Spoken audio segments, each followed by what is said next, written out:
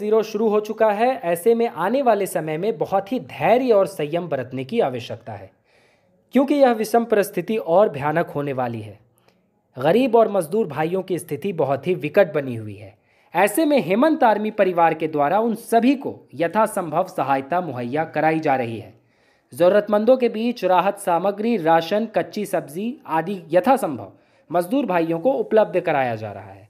सेवा ही संकल्प है को निरं को निरंतर जारी रखते हुए हेमंत आर्मी परिवार के सदस्य इस काम में लगे हुए हैं। पार्टी के सदस्य सुनील गुप्ता, प्रदीप जायसवाल, निक टुडू, मंटू कुमार समेत सभी साथी हर वक्त सेवा के लिए हाजिर रहते हैं।